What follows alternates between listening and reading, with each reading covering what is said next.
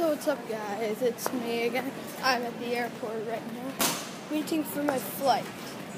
And um, yeah, I'm at Tampa International Airport right now. My plane leaves at 9. So um, yeah. I will, um, and I'm just doing this vlog just to tell you. And um, I'll be going to an actual game tonight, a Cardinals game. So um, I will um see you in in the next vlog for when I get to um, St. Louis.